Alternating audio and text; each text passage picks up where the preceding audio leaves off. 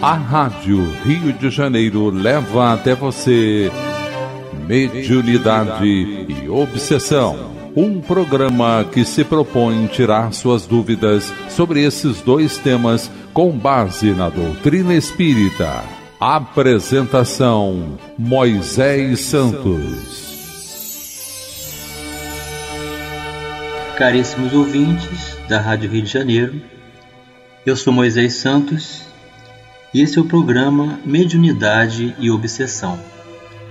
Meu caro ouvinte, reconheça, a mediunidade é um instrumento valiosíssimo para a constituição do espírito em sua recuperação, em sua possibilidade de crescimento, de retificação perante as leis divinas. Jamais se permita a considerar que a faculdade mediúnica representa de alguma forma uma condição enfermiça do espírito. Pelo contrário, é um grande empréstimo, é uma solicitação feita por nós mesmos para que, através dos recursos do intercâmbio com a espiritualidade superior, cada um de nós possa exercer o seu papel de recuperação perante a luz divina. Então, a doutrina espírita permanece oferecendo-nos os recursos facilitadores para que através dessa comunhão natural todos nós possamos exercer essa tarefa bendita com Jesus. E considerando a origem da doutrina espírita, que foi muito bem observada pelo método científico dos fatos da mediunidade por Allan Kardec, nós estamos diante de todos esses recursos, desse entendimento, do conhecimento libertador, que o livro dos médiuns, que o livro dos espíritos, toda a codificação kardeciana apresenta-se para cada um de nós. E o quanto os espíritos superiores vêm nos fornecendo entendimento através da mediunidade de Francisco Cândido Xavier que deve ser por cada um de nós buscada, estudada, compreendida, para que as nossas convicções gerem a segurança pessoal e nós possamos fazer dessa oportunidade, enquanto ora nos encontramos afastados das nossas sedes físicas da casa espírita, possamos exercer essa mediunidade no dia a dia, no lar, buscando na oração, no serviço, na tolerância, no silêncio, no estudo, na ocupação mental e, eventualmente, dentro das possibilidades, o exercício da caridade moral e material. Cada um vai poder saber até onde pode alcançar, o que deve realizar perante a própria consciência, dentro das suas possibilidades. Então, a doutrina espírita apresenta esse tríplice aspecto que vem nos configurar então um conjunto valoroso, homogêneo, equivalente do pensamento da falange espírito de verdade. Mas, meu caro ouvinte, você sabe o que é o aspecto tríplice da doutrina espírita? Vamos esclarecer esse conceito. Esclarecendo conceitos. O tríplice aspecto da doutrina espírita está claramente oferecido para nós na psicografia do Dr. Bezerra de Menezes, espírito, através do médium Francisco Cândido Xavier, extraída do Reformador de outubro de 1995 quando o médico dos pobres, o Kardec brasileiro, escreveu para nós: A doutrina espírita possui os seus aspectos essenciais em configuração tríplice. Que ninguém seja cerceado em seus anseios de construção e produção. Quem se afeiçoe à ciência, que a cultive em sua dignidade quem se devote à filosofia, que lhe engrandeça os postulados. E quem se consagre à religião, que lhe divinize as aspirações, mas que a base kardeciana permaneça em tudo e todos, para que não venhamos a perder o equilíbrio sobre os alicerces em que se nos levanta a organização. Meu caro ouvinte, você sabe que o Dr. Bezerra de Menezes, quando encarnou na Terra, teve a missão de unificar os espíritas, porque cada um mais se afeiçoava a um aspecto ou outro da doutrina, e assim realizava divisão, separavam-se em grupos. Então, essa mensagem mostra bem que cada um dos aspectos da doutrina devem ser cultivados dentro da sua afeição mas que jamais seja motivo de divisão entre nós.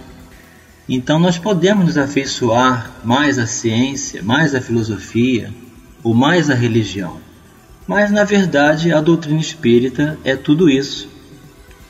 Mas também precisamos entender que essa ciência não é a referência, aqui no caso, da ciência humana. A ciência humana baseia-se nos fatos observados experimentais que podem ser reproduzidos em laboratório a qualquer momento e demonstram as leis naturais, que são as leis de Deus, escritas nas nossas consciências e também caracteres indeléveis na formação do globo terrestre, nas relações dos seres vivos e toda manifestação de transformação da matéria nos campos da física, da biologia e da química. Então, esta é a ciência humana. A ciência espírita não é a ciência humana. Ela é ciência no tocante à observação dos fatos. Quando Allan Kardec observa, faz perguntas e baseia-se no conjunto harmonioso da equivalência do pensamento trazido pela comunicação mediúnica, e faz uma concordância através de perguntas idênticas a pessoas diferentes em diversas partes do globo, faz com que haja uma equivalência e concordância observada entre essas respostas por médiums diferentes.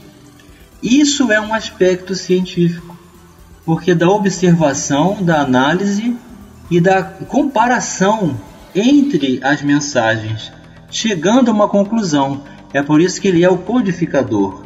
E essa abordagem é científica. Mas não é como a ciência humana, que pode ser reproduzida a qualquer momento no laboratório, porque a ciência espírita depende do comunicante, que é o agente do mundo espiritual, a pessoa desenfaixada do corpo físico que vai utilizar-se do recurso da mediunidade para exercer então o processo da comunicação mediúnica. Então, não vamos fazer essa confusão de que a ciência espírita é a ciência humana, apesar de que nós temos uma proposta. Esta proposta faz parte do crescimento, do progresso da humanidade, fazendo unir ciência humana e religião. É o Evangelho segundo o Espiritismo, em seu capítulo 1, não vim destruir a lei, quando Allan Kardec, no item 8, vai nos explicar esta aliança.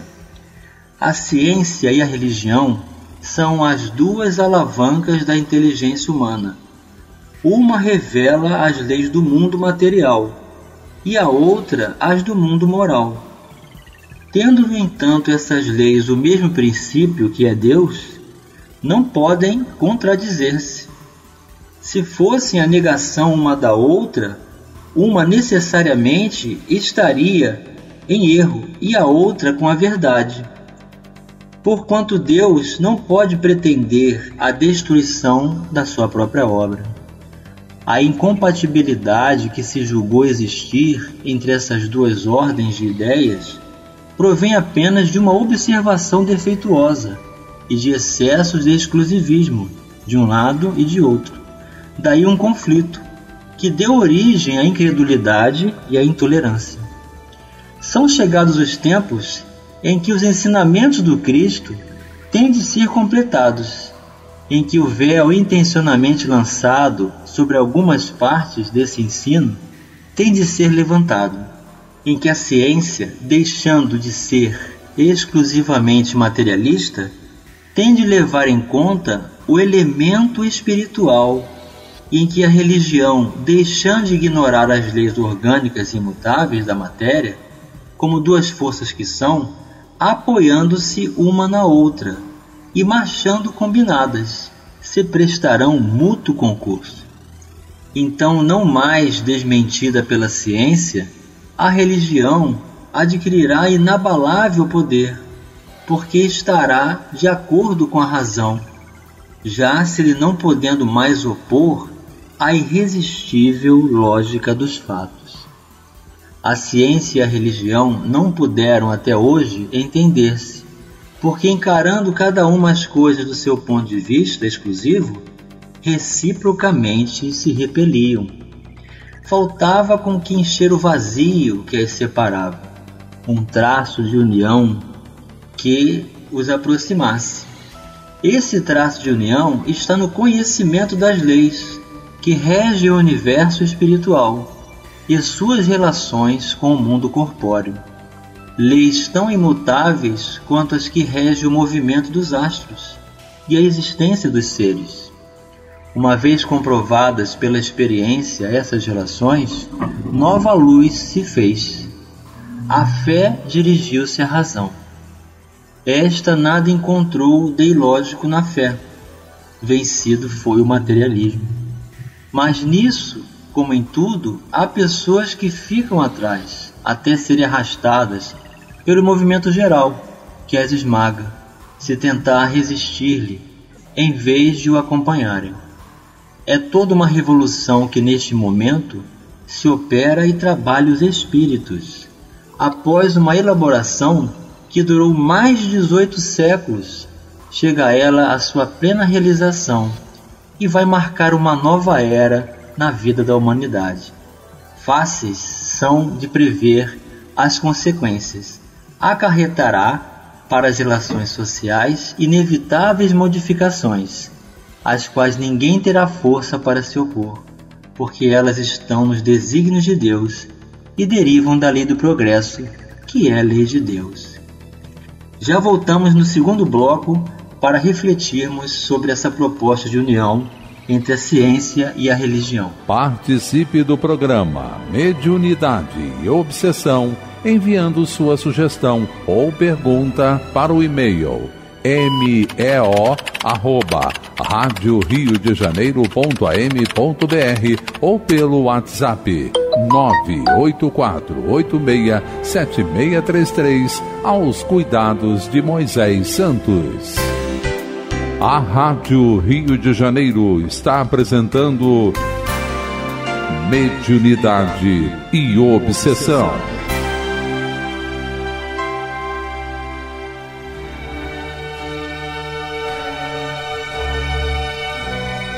Caríssimos ouvintes da Rádio Rio de Janeiro, voltamos agora para o segundo bloco do nosso programa de hoje, onde estamos abordando o aspecto científico e a ferramenta da mediunidade como recurso de intervenção do mundo extracorpóreo, do mundo espiritual, em relação com o mundo físico, trazendo-nos os fatos que esta mesma mediunidade pode representar para cada um de nós, como ampliação dos horizontes do entendimento dos valores do espírito.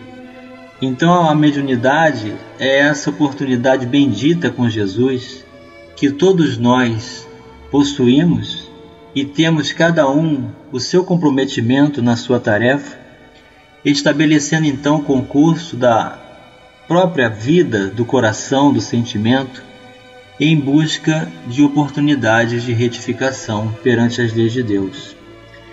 Então, a mediunidade com Jesus é o processo do bem natural que é o remédio para cada um de nós vivenciarmos valores superiores, fazendo com que cada uma das nossas vidas resplandeça na oportunidade do exercício do bem.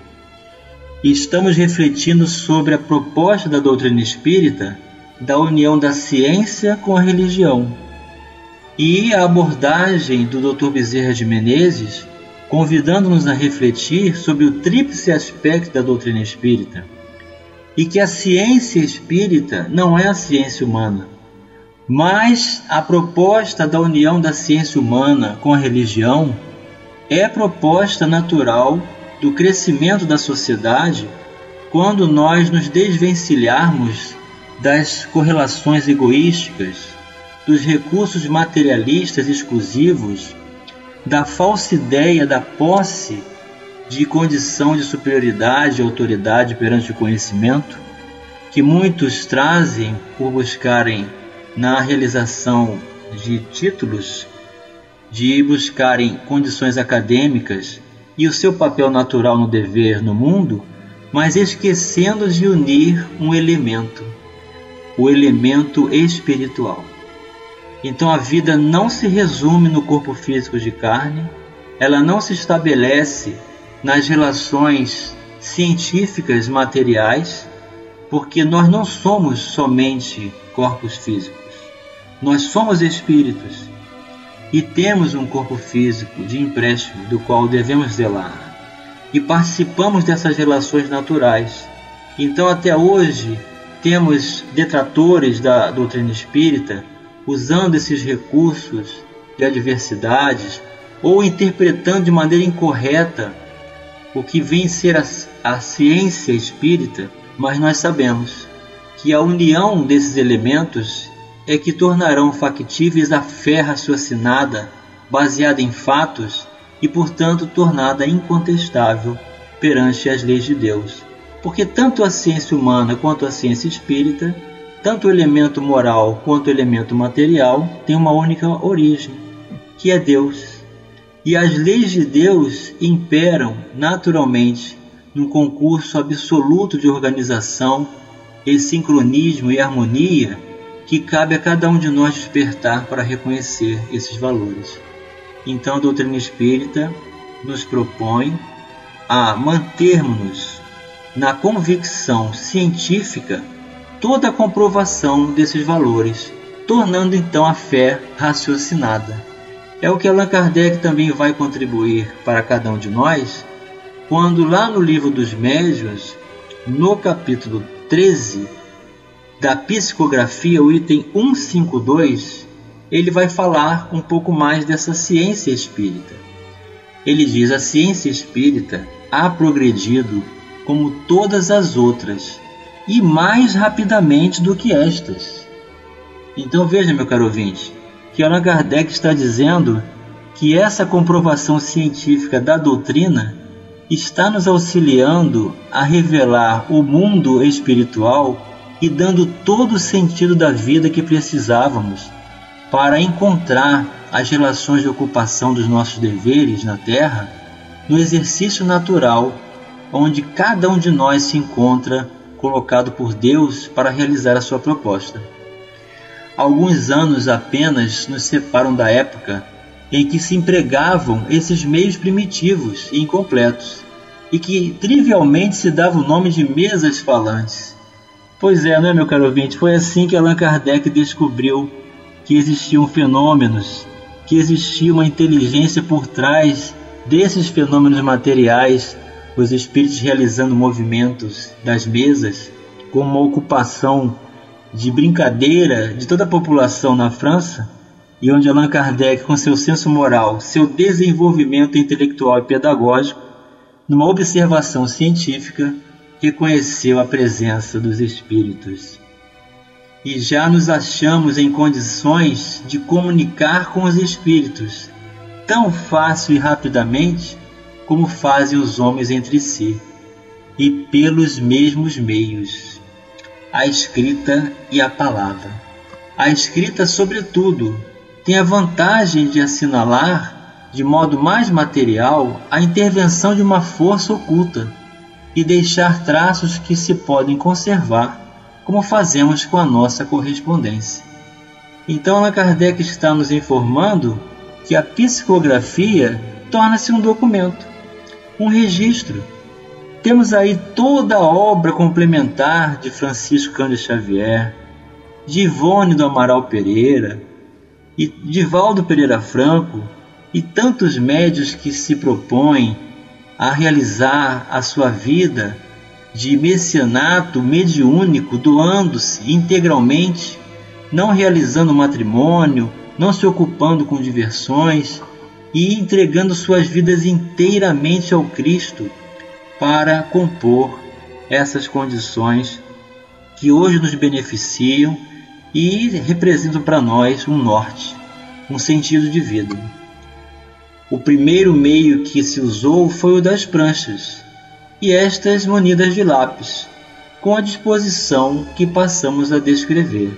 Então houve um desenvolvimento, houve, houve recursos que foram buscados para que as comunicabilidades ocorressem cada vez mais facilitadoras, até que Allan Kardec reconheceu que através da psicografia e que a relação da mediunidade ocorre perispírito a perispírito, ajudando-nos na comunicabilidade e a cumprirmos os nossos deveres perante Deus com Jesus em nossas vidas, meu caro ouvinte. E chegou a hora de nós enviarmos para você aquela mensagem ao seu coração. Mensagem ao coração. Do livro Seara dos Médiuns, Psicografia de Francisco Cândido Xavier, pelo Espírito Emmanuel, o capítulo 5, Curiosidade. A curiosidade, quando respeitável, é princípio da ciência, mas somente princípio. Sem trabalho perseverante, assemelhar-se-ia, de certo, ao primeiro passo de uma longa excursão, interrompida no limiar. E observando que o progresso é obra de todos, é preciso que o ceareiro da ação palmilhe ascenda dos precursores para realizar o serviço que lhe compete. Colombo descobre as terras do Novo Mundo, depois de anotar os apontamentos de perestrelo, planter articula acumuladores de eletricidade, sob a forma de energia química, mas toma por base a pilha de volta. Marconi, para alcançar o telégrafo sem fios, utiliza as experiências de Branly. Pasteur demonstra definitivamente a origem microbiana das doenças infecciosas, precedido, porém, por Davane e outros, para tudo isso, no entanto, não se mobilizam em poltronas de sonho, nem param à frente de esboços. Lutam e sofrem, gastando fósforo e tempo.